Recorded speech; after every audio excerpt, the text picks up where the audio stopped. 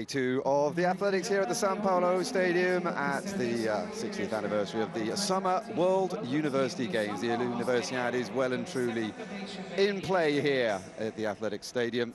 The decathletes are out on the track ready for two days of grueling athletic competition. These are the tough men of the athletics world. Well, the first of those 10 events is the 100 meters then in this uh, first of two heats. There are 16 men in the competition in total, and they are all trying to inherit the title that was won two years ago in Taipei by Carl Cranston of Australia. Underway then, it's a pretty even start at the moment, but the Pole Abramowski is now moving to the front. He's being chased after by Max Attwell of New Zealand. On this near side is Dobrega, but it's going to be Abramowski, followed by Booth, Attwell and followed by De Bruyge in that order.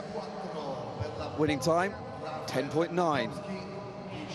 So then the uh, second of the two heats comes up, and it's uh, the man who you'd probably say is the favourite to take the title here, the man from Thailand, then Sinkon. If uh, his PBs stand up to what they are on the start list, then uh, he is better than everybody else.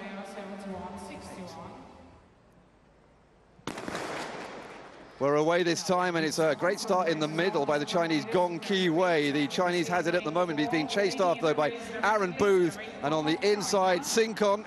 But it is the Chinese who has it. As the results uh, confirm then, uh, Gong 10.98, the only man under 11. Booth followed by Sinkon. Second event of the uh, decathlon about to get underway. And uh, after the 100 meters, it is the uh, Polish athlete Rafał Abramowski who leads at the moment. So next up, we have Booth of New Zealand. Now, Booth has got a best of 7.22, the 22-year-old. He set that earlier this, earlier in July. Sorry, in June. So a man in form.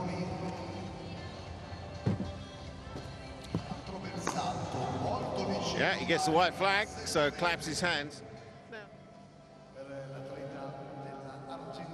Oh, he's 7.19, so just three centimetres below his personal best. So that's a good first attempt by Booth. So the Australian, Alec Diamond. He's got a best of 7.65, the 21-year-old. Cuts his stride into takeoff.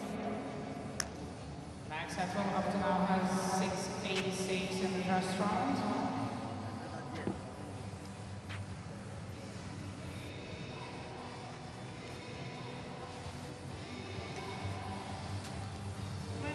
So 7.52 after 7.03. So Diamond uh, has the leading jump so far.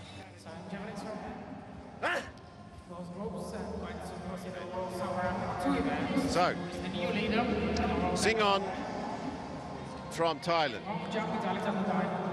Pressure's on. Well, he's on the board. He gets the white flag. He takes the sweat from his brow because he had two no jumps. So he's still in the competition. He's had two no jumps. Massive pressure. Just about gets out to 728. And the big mover is uh, going to be it's going to be Alex Diamond with his sixth 752 in uh, round two. He was seventh after the uh, 100 meters. The third round of the 10 rounds of the decathlon.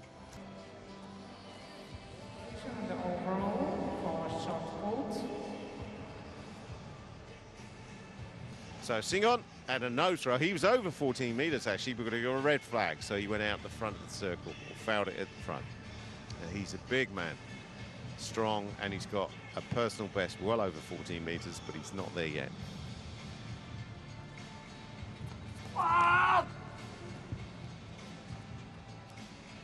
So it looks like he's going to get a mark. He gets the white flag. Stayed in that time. Again, very short on that right foot there, but he's strong, he's powerful, and he stood up, clawing back some points here. 14.87 for the tie.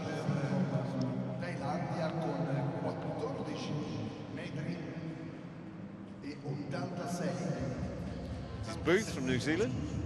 Balza in testa alla classifica Well, you could say that looked like a fast arm. It looked like a fast arm. He gets the white flag because the legs stopped working, so he had to throw it with something. So you can just see the hand accelerating out of his neck, but not utilizing the power from the floor. 96, just Two centimeter improvement for Booth, 1296, compared to 1294 in his first attempt. Amar Abramowski from Poland, second throw.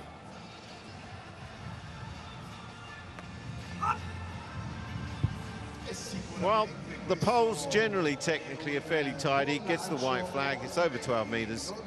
They're generally tidy. They do a style of fixed feet throw. So you'll see he gets to the front of the circle and then just drives the hit in against the block, that left leg going into the stop board, and then stops and stands up. And the shot just shoots out of his hand. 12.51. Uh, two meters better than his first one, so you've got to be happy with that. And here we have Alex Diamond, who is creeping up the board, 13.35 to 13.89. Now he needs over 14 because Song Hai, Sang Hong of Thailand basically is ahead of him now. So he would have moved out of that leading position he had after two events. Can he do it? Well, he's a big, strong boy, and that's over 14 metres. What a response from the Australian. So Diamond, he's got a best of 15.22, so I think he would have been disappointed had he not gone over 14 metres, but he knows he's got that. He knows that's probably out towards 15 metres because you feel it as a thrower, you know. 14.91 for the Australian Diamond, so that will put him back up the top of the tree. So confirmation then of the men's decathlon after three events so far. Alex Diamond leading, but it's not by much. So then, just one event left on the track then this evening. I mean, just to comment on the uh, high jump, that uh, was the fourth event leading into this final uh, two races that we've got with the men's decathlon. We had four of uh, the decathletes going over two metres, which isn't a bad effort um, in terms of the standards that we've got within the competition. So Attwell from New Zealand and Booth of New Zealand both cleared two metres. And Singhong from Tha uh, Thailand, he cleared two metres too, and Gong from China, two metres. So that's just uh, a precursor to this first heat of the men's decathlon 400 metres.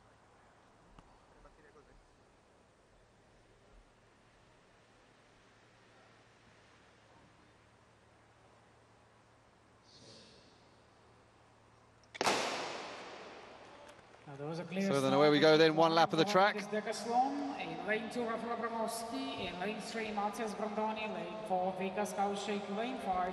Is the man further down? Lane six, Domantas Dobrega, lane seven, Max Attwell, and lane eight, Pauls Kluches. Abramowski there, the pole on the inside is uh, going well at the moment. All the decathlon in all the events, see that Rafael Abramowski of Poland in lane two, and And also going well as well on the outside is um, Attwell. Attwell has the lead at the moment. It's a very good result. Abramowski is following him behind.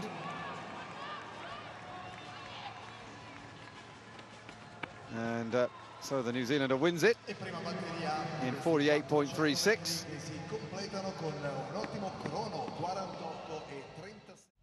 Rafa Abramowski was disqualified from that, actually.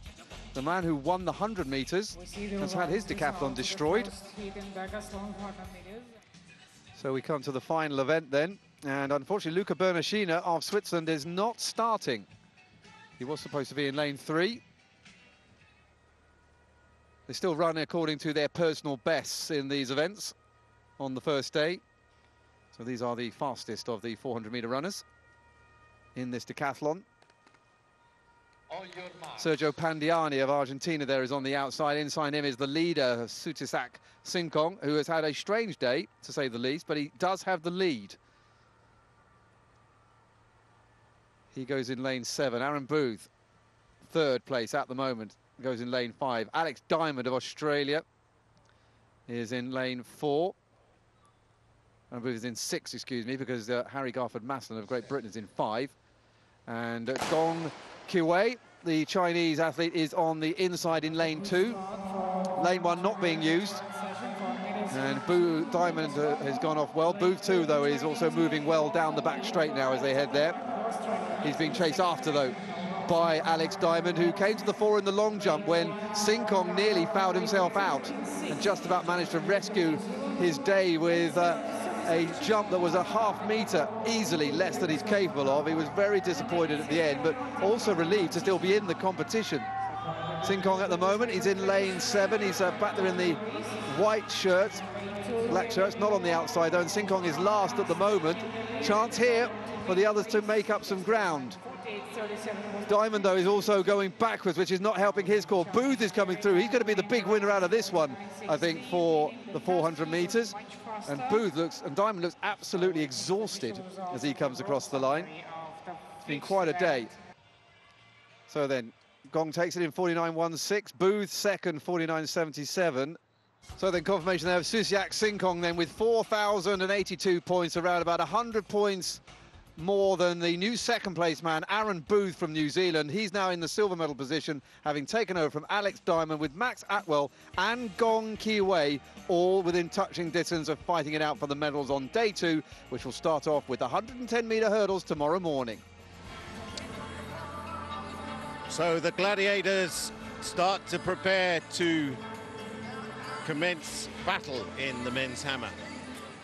And to conclude the first round of this men's hammer final, we have Taylor Campbell from Great Britain.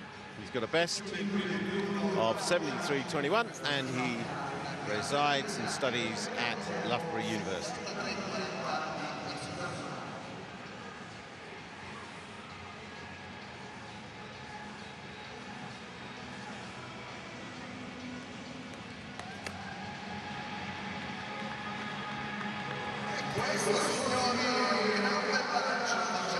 Taylor Campbell has got hold of that one. So it's the place to do it, 73.86. He sets a new personal best in the first round to conclude the first round of this men hammer final. And the man that he's uh, approaching, who's done 74.49 in his first attempt, is the Turk, who's in for his second throw now, Baltaci of Turkey.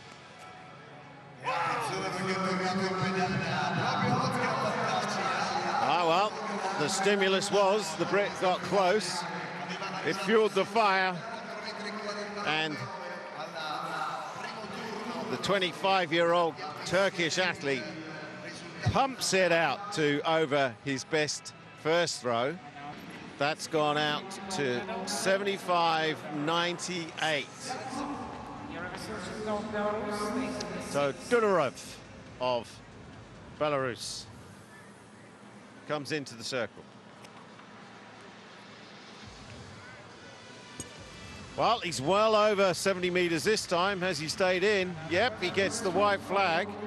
So this man has had a slow, he's a slow burner. He's had a slow start, throwing consistently.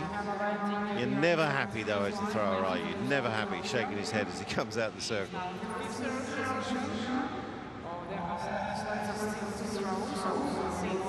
Belarusian 72-35.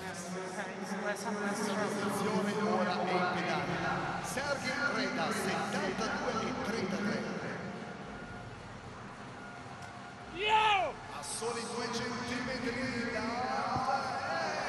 Attenzione perché anche questo è un grandissimo... Okay, so that's Rahida of Ukraine, who on his final attempt has thrown 74-27 to go into silver, silver medal position. And Campbell now has a bronze medal instead of the silver that he was holding at the commencement of this round. So he needs 74-27 to get the silver back, and he needs 75-98 to win gold. So he's hit the net, so Campbell will be taking the bronze medal with a no throw in the final round. Rahida of Ukraine, who's got a best of 76.90 this year, through close to that with, with 74.27 to snaffle the silver in the last on his last throw. Campbell not quite handling the situation and getting one out there. So this man goes into the circle knowing that he's got the gold medal from the Universiade 2019 in Naples. He's had a great series of throws and again consistently out. That red line is 75.98. He knows he's won gold with the best throwing from any of the competitors here this evening. He's been consistent. And he's now the last one, despite the fact he knows that he's won the medal, the gold medal at this point. He's relaxed into it, and it's over 75 meters. 75 meters 94, just four centimeters less than his best attempt and he has been a model of consistency this evening to take gold.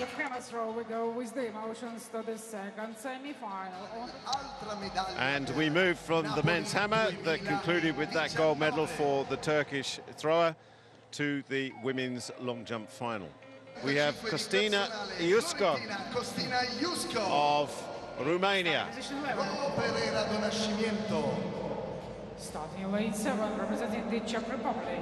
In corsia numero 7 per la Repubblica Ceca, Dredek, Dredek Stronsik. And in lane 8, representing China. In corsia numero 8 per la Cina, Dajun Xuan.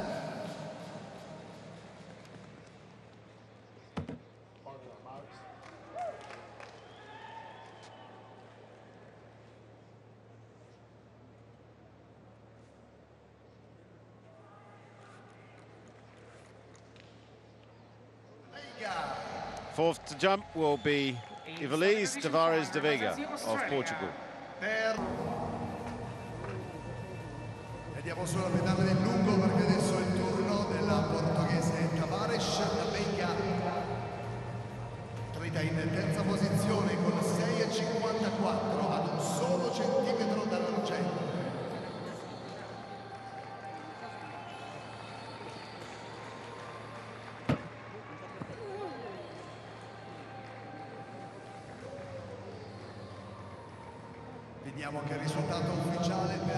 She's in the silver medal position with that leap of 661.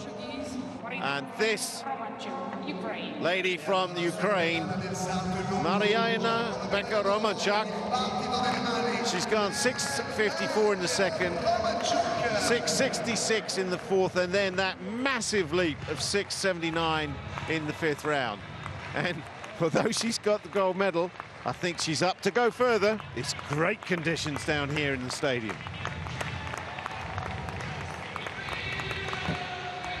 Shortens the stride and goes longer. Will she get the white flag? Wow, what a jump that was. The shackles were off. She had the opportunity to express herself with no pressure whatsoever. She had the gold medal in her pocket. So, did she take it easy? No, she did not. Look at this attack. And then she just sinks those hips into the final stride. Up she goes. Great height. Great uh, conversion from that horizontal runner into the vertical. Feet out. Good leap into the pit. And we're just waiting for that distance to come. The record, the university record, is with Kachvich from Belarus from 1985, that record instead. So we're just waiting. It's not going to get there. Six meters 84. She finishes with her best jump of the evening and she takes the gold. She had it before she took the sixth attempt. So what a great performance from the Ukrainian in the women's long jump. So we have the women's discus final that's just about to start. The athletes lining up to be introduced to the crowd. And there they are. So, fifth round, Daisy Osakue into the circle from Italy. She's got hold of that one. Oh, look at that. That's over that red line. That's the leading mark of the German. Vita. She's been taken over by the Italian. So Daisy Osakue who has a best of 61.35, has put out a 61.69 throw to take the lead in the fifth round. And that means she'll be the last to throw at the end of this uh, at the end of the sixth round. So great throwing from the Italian. She's in gold medal position now. So we're going into the final round. Sorry, the fifth round. So we have Zarankaitė of Lithuania, was in silver medal position. She's been pushed down to bronze now. She's got a best of 56.02. So this is her fifth round attempt. Well, that's her best throw so far. It's certainly over or around 56 meters on her fifth round, but it's not going to really change her position. She's been pushed down into the bronze medal position so far. So let's see how far that is in the fifth round for, and there we go, 56.75. She retains that bronze medal position with that throw. Now we have Claudine Vita, who was in the lead at the start of this round. She's been overtaken by the Italian, Osakue, at 61.69. So to get it back, she needs to go over 61.69. She throws with intent. Oh, and that's, I think that's just below the Italian's mark. The red line is indicative of the leading throw of the competition so far. So great response from Vita. Fixed feet, delivery. 61-39 and the crowd applaud and clap because she stays in second position. The Lithuanian Lera Zarankaitė has the opportunity to improve on her bronze medal, but she's got a leap to go in this event because she's on 56.75 and the silver position is with Vita of Germany with 61.41. So can she improve on her bronze medal? Well, it's fallen short of 60 meters, so she'll take the bronze medal. She gets the white flag, so she'll have it measured. It's split the 50 and 60 lines almost halfway across, so it's around 55 meters. Very fast across the circle. That fixed feet stop, that block just stops. There's no rotation around that front foot. It just hip strikes, block, let go, and she finishes with 55.01. And now we move to the real business. Vita Claudine Vita, the hot favourite after the qualifying competition. 61-41, but she's been overtaken by the Italian Daisy Osakue in the fifth round, who threw 61-69. She needs more than 61-69 to take gold. Here she goes. Oh, it's long and it's gone over that red line, which is indicative of the gold medal position at that stage of the competition. There'll be a nervous wait by Vita as she waits for the distance to come up, and even more nervous wait. The Italian has one more throw, so here it goes, into that block style. And 61.52. 61.52, it falls short. So Vita takes the silver 61.52. So the Italian takes gold and she has a last throw just to seal it with a kiss. Oh, and there you go. That's the way you do it when you know you've won the gold. You hit the cage, so. But it doesn't matter. What a great performance by the Italian. You can see that, the fifth round throw, 61-69. She takes gold in the women's discus throw.